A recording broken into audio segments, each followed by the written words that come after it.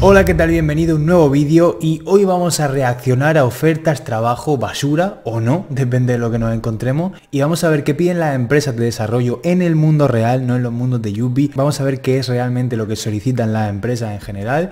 Vamos a ver qué piden, vamos a ver si hay algún abuso, vamos a ver si son trabajos basura, si no, cuál coger, cuál no, cuál es una buena oferta, cuál no. Y la empresa que tenga una oferta abusiva o que haga cualquier tipo de abuso, cualquier cosa que a mí me parezca que no es, por decirlo así, moral, aunque yo no soy ningún adalid de la moralidad ni de nada de eso, pero bueno, cualquier cosa que a mí me parezca mal, la vamos a comentar porque ya estoy harto de un mercado laboral saturado de ofertas que te piden el oro y el moro, que te discriminan por absolutamente todo, por edad, por sexo, por discapacidades y que encima te pagan poco o nada. Vamos a combatir esto en esta serie de vídeos, así que darle mucho apoyo, suscríbete si no estás suscrito, activa la campanita de notificaciones y si quieres aprender desarrollo web tienes absolutamente todos mis cursos, la ruta de aprendizaje en la descripción del vídeo para que los tomes y te apuntes. Ojo, todos los cursos están rebajados al máximo, o sea, están a un precio impresionantemente bajo para que los tomes y aprendas conmigo, ¿de acuerdo? Para que te cuesten menos que comerte una hamburguesa esta noche, literalmente, menos que una hamburguesa te cuesta cada curso. Si te apuntas vas a aprender un montón y vas a poder optar a muchísimos trabajos en el sector del desarrollo. Échale un vistazo y apúntate a los que puedas antes de que suban de precio. Y bueno, hoy vamos a mirar en LinkedIn y además vamos a mirar en España. A ver si nos encontramos encontramos algo interesante o, nos encontramos despropósitos como en otras ocasiones. Así que vamos al ordenador y empezamos a reaccionar. Bueno, ya estoy por aquí. Me he puesto aquí porque creo que es lo más cómodo para ver la oferta y tal. Pero bueno, podría ponerme en, la otra esquina o lo que sea, pero en fin. Vamos a empezar a mirar y vamos a intentar mirar en orden, aunque seguramente nos saltemos las ofertas que estén promocionadas o tal. Vamos a empezar mirando esta, desarrollador web Python híbrido. Híbrido significa que es eh, trabajo remoto y presencial al mismo tiempo, decir, que unos días estás presencialmente y otros días en tu casa. Eso me parece bien, aunque prefiero obviamente remoto en general. Ya casi todo el mundo está en remoto. Casi todos los compañeros estamos en remoto trabajando. Algunos van y opcionalmente algunos días se va, pues alguna reunión, alguna historia, pero en general es todos los días en remoto y eso es lo mejor, ¿no? Bien, ¿qué dice esta oferta? ¿Te encuentras en búsqueda de un nuevo reto y una gran oportunidad laboral? Ven con nosotros y únete a un proyecto ambicioso. Mm, ambicioso. Vamos a ver. Somos una empresa de servicios de ingeniería y consultoría tecnológica. Trabajamos en diversos sectores. Vamos al grano.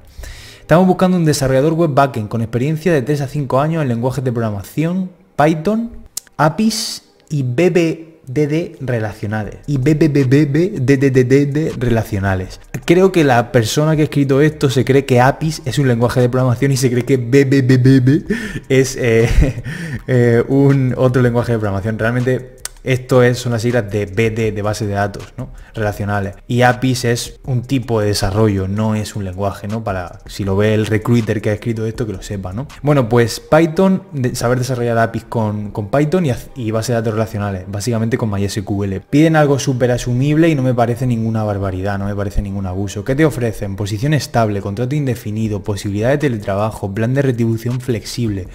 Salario acorde a la valía y experiencia del candidato. Esto significa que te van a pagar lo mínimo posible.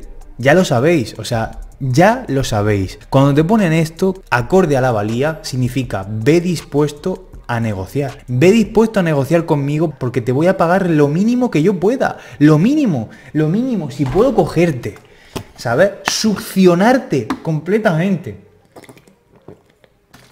Succionarte todo.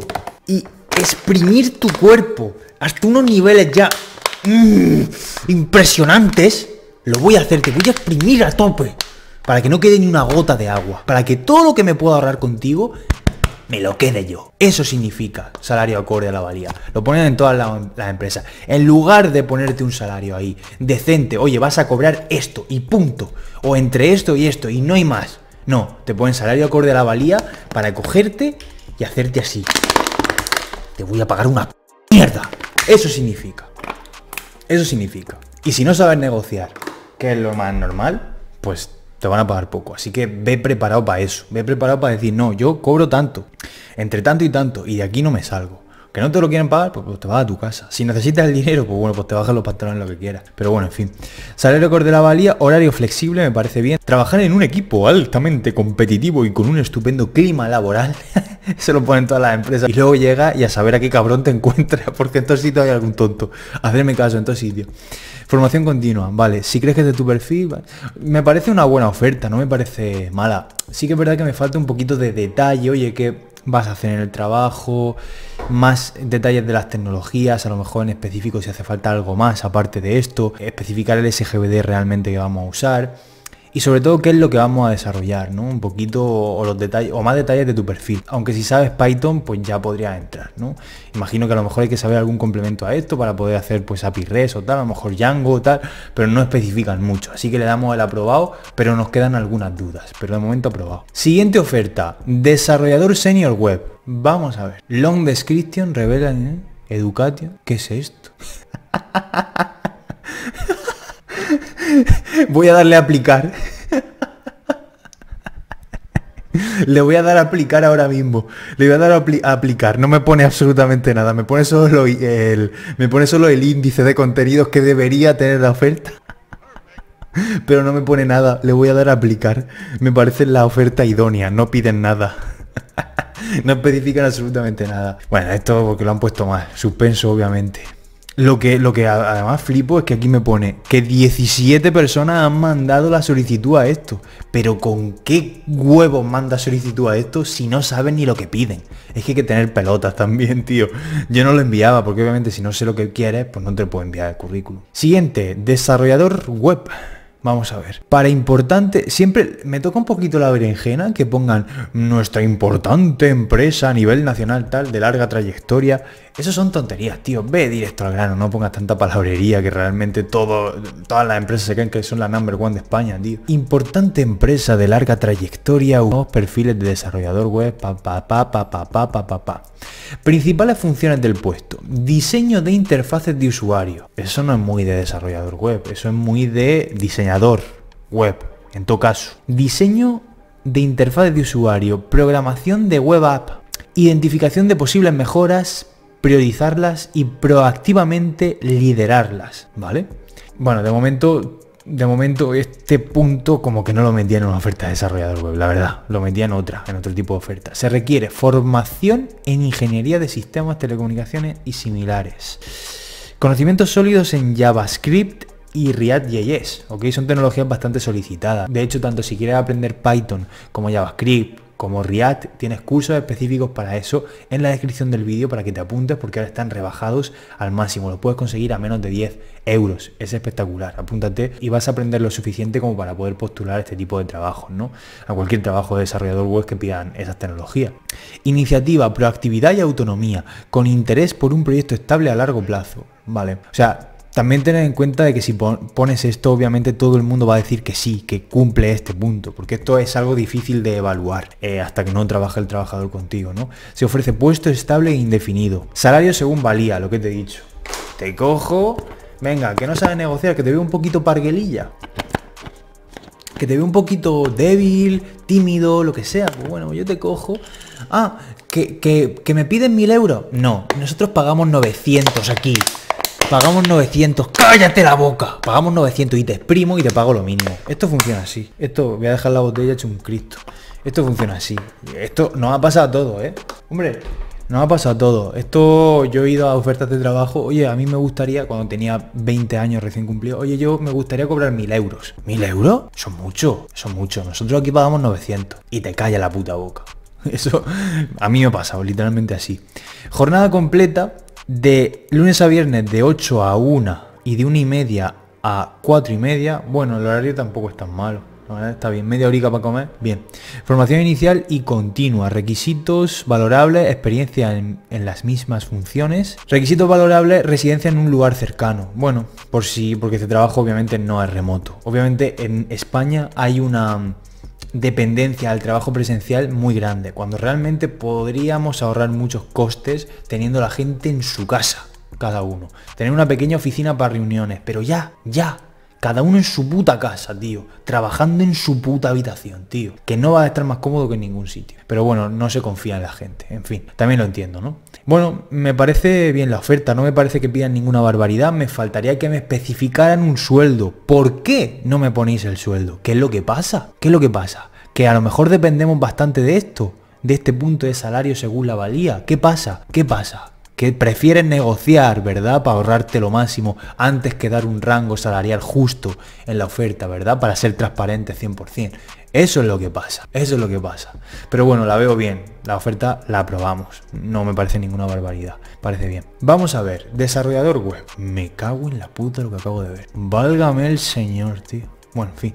Seleccionamos, seleccionamos para nuestro departamento IT desarrolladores tanto frontend como backend el puesto está ubicado en nuestras oficinas de no sé dónde. Se, trabaja, se trabajará con las siguientes tecnologías. Y aquí ya, aquí ya, esto ya es de chiste. Esto ya es de chiste. C Sharp, JavaScript, TypeScript, .NET, React, Redux, SAS, HTML. Bueno, aquí hay que añadir más cosas, CSS, etcétera, etcétera. Pero me parece una barbaridad que me pida César, que me pida JavaScript, que me pida TypeScript.net. O sea, ya mételo absolutamente todo, tío.